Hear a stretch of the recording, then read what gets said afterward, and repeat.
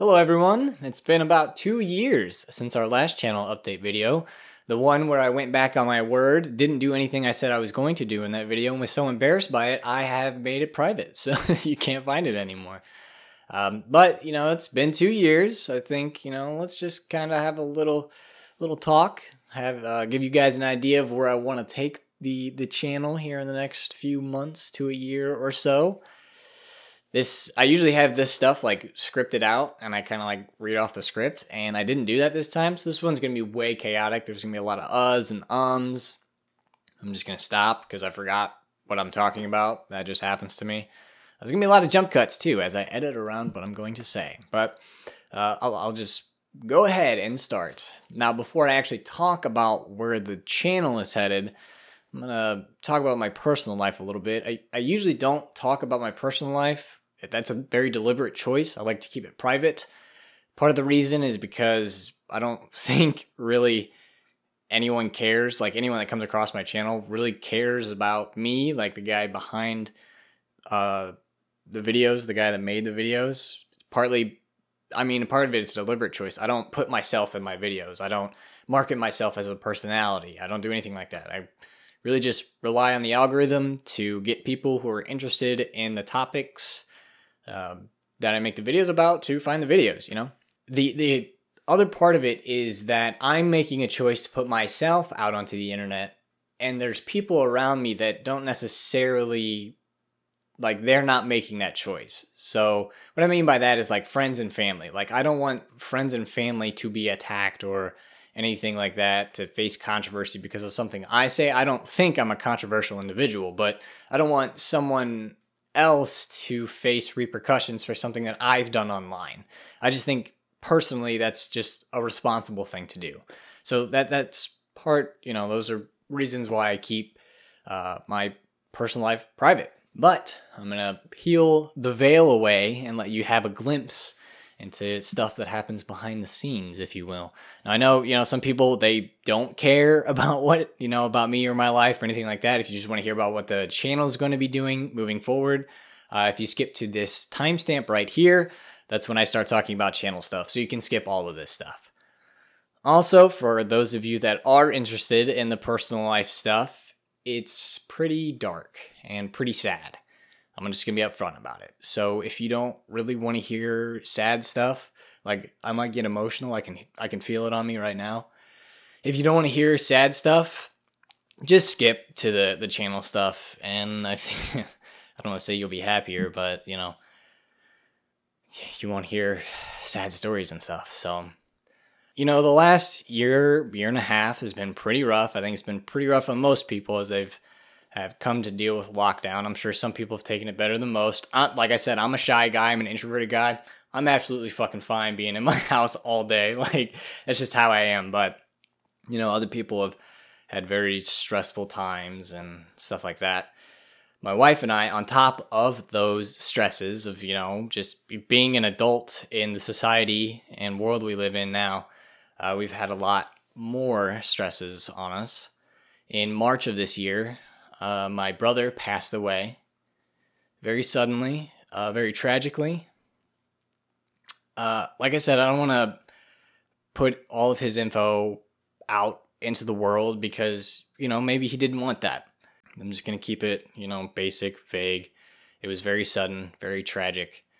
Um, and, you know, it, it, it hurt, you know, because he's my older brother. So, won't see him at holidays anymore, stuff like that. Um, you know, he taught me a lot, not even just teaching me.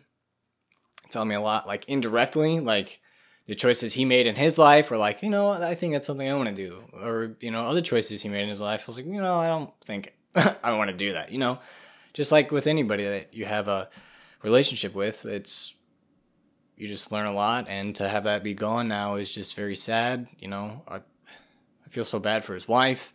She, I mean, we keep her in the family. She's still around, and we we love her. Like you know, I mean, she was a sister to us, so we still love her. But you know that that that that hurt. So, um, and then in fuck June of this year, I think someone else really close to us got diagnosed with cancer. Um, I mean, same kind of thing, like very sudden, didn't really have any kind of idea. So, I mean, there's a bunch of uncertainty, doubt, you know, what's going to happen, what what are we going to need to do to either make sure they're okay or, you know, what's going to happen. Luckily, the person in question was able to get surgery and the cancer was able to be removed. Um, it sounds like for follow up appointments, uh, they had like a follow up appointment. They didn't find any more cancerous cells, so that's a relief. I think the person in question has a follow up appointment, I don't know, a couple years from now to make sure it doesn't recur. Um, and then, you know, if they're still good then, then it's all good, you know? So, but that was a huge, huge stress on us. And at a time where we didn't really need one, and the reason why is because this is the big one. In January of this year, my wife and I had a baby boy.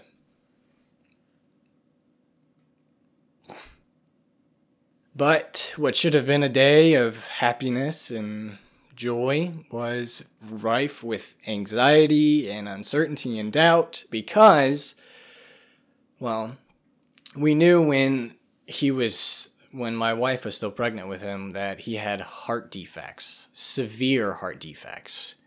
Um, and they were going to require surgery, like major surgery. It wasn't one of it was a hole, but it was a major hole in an abnormal place and a couple of other defects. I could literally just go down the rabbit hole and probably spend the next seven and a half hours talking about this, but I won't. I'll just try and keep it short and simple.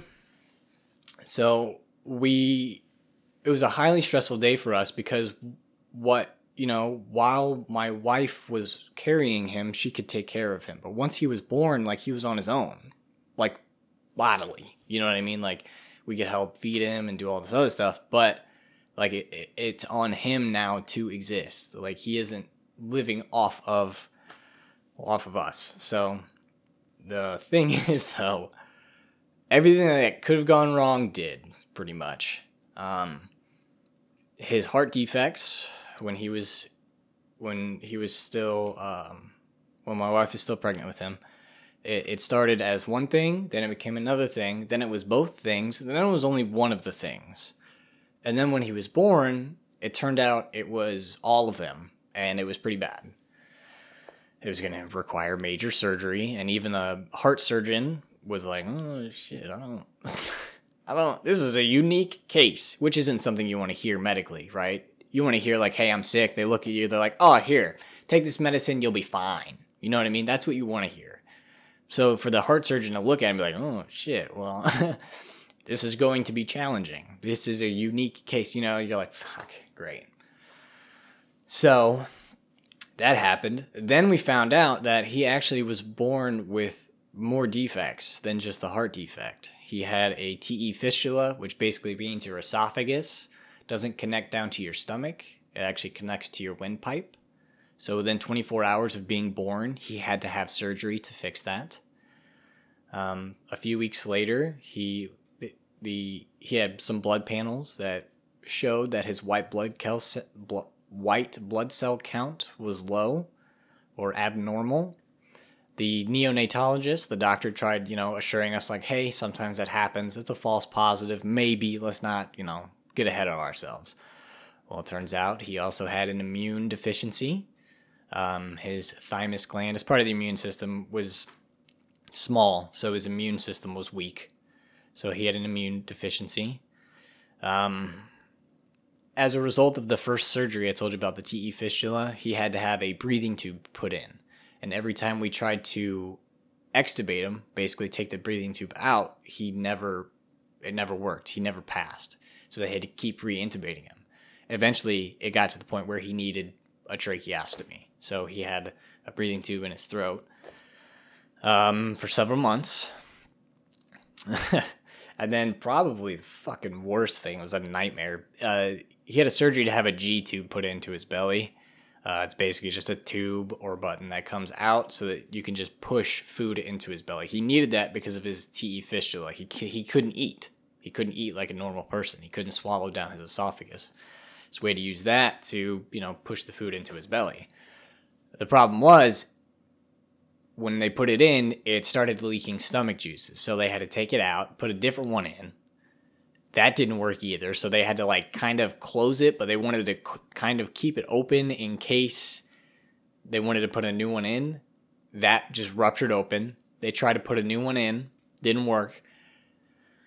Dude, they did so much stuff. They took it out. Eventually, like after months and months of doing all this shit, they they just took it out and just sewed it shut completely. There's a point where it looked like he was going to be able to keep it in and he actually ripped it out, you know, cuz he's a baby and babies don't really have control of their arms and he just fucking yanked it out, dude. And so after that, he he like when he pulled it out, they pulled it, and before they like surgically closed it, he just had a hole, just a hole in his stomach where you could like see inside of him. It was pretty fucking brutal. But basically, you know, like everything that could have gone wrong did, you know. But he st- he kept fighting. He kept fighting. He kept fighting. You know, and it was our sweet little boy. Uh, I forgot to say it earlier. His name is Kieran, K I E R A N, Kieran and man, what a fucking fighter, dude. Whew! Man, he fought. But uh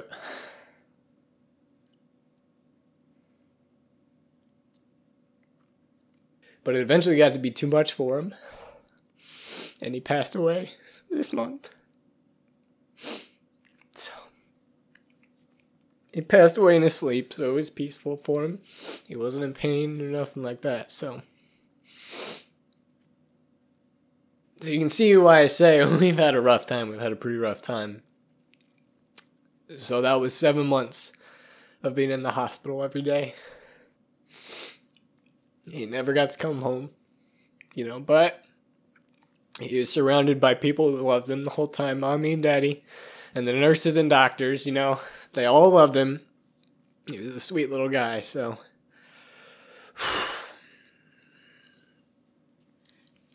but his fight's over. He's at peace now, so. so my wife and I are grieving a bit, trying to pick up the pieces and find out how do we go back to normal. You know, what's the new normal? You know, so. So what does that mean for the YouTube channel? Well, uh, I can tell you for certain. Usually, when you go through monumental events like that, it really puts your life in perspective. You know what I mean? Like you start to see the things that are important to you, the things that aren't important to you, and I can tell you for certain. Uh, I just I fucking love making videos, man. Just talking about games that you know other people like and want to hear a dude tell the story about. I'm just gonna continue with that type of content. You know I'm not going to try anything new or crazy. Like I said, I'm not trying to be a personality or, you know, anything like that. I'm just, you know, I just like to do this.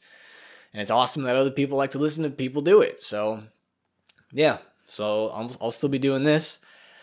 Um, what I'm working on now, it's been like four months since I think the Hades video. Uh, I've been working on a. F- this is a video that was not recommended by anybody, like no viewers at all. uh, I've been working on a full chronology of the Last of Us series. So that thing is over two hours long, so it's longer than the Hotline Miami full chronology. Uh, that is almost done. As of right now, I have to record the final shots, uh, edit those, and put the music in. Uh, that'll be done. Hopefully, within the next week or two, it'll be done. I can tell you for certain if it's not uploaded by September 13th, it's then it won't be uploaded until October. It's just, it's just a personal thing. We're we're taking some time off. So after that, the next story summary I'll be tackling is Deadbolt, which is uh, recommended by several uh, commenters. Mother Russia Bleeds will be after that, also recommended by several viewers.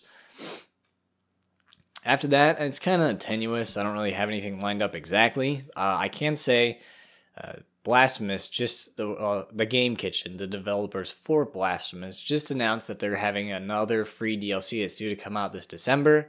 I'm sure there's going to be at least a video made on that, maybe more. We'll see. Katana Zero is meant to get a free DLC at some point, and I'm sure I'll make a video on that.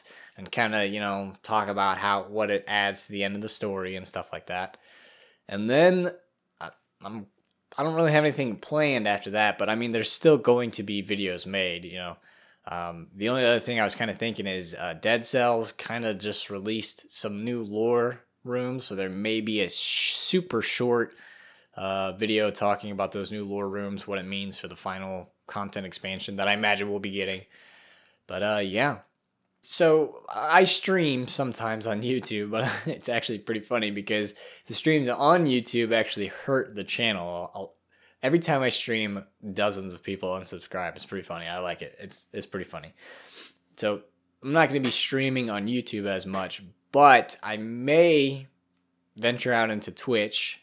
Uh, no promises. We'll kind of see how it goes.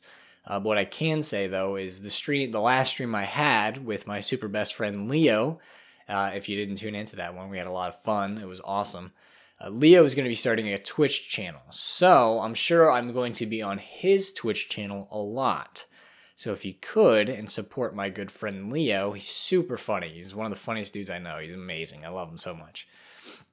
If you could, uh, you know, if you're interested in seeing him stream, go ahead and give him a follow on his Twitch profile. I'm sure I'll put it in the description. I don't know what it is off the top of my head, but uh, yeah, that's that's pretty much it for the channel stuff. So those that watch this, thank you so much for watching. Um, I still to this day read every single comment, so I don't know what point I'm making by saying that is. It's just awesome to me hear from you guys, I guess, you know. So I think that's it. So I will just cut it here. Thank you all so much for watching, for the continued support. I appreciate it so much. And uh, yeah, I'll see you next time.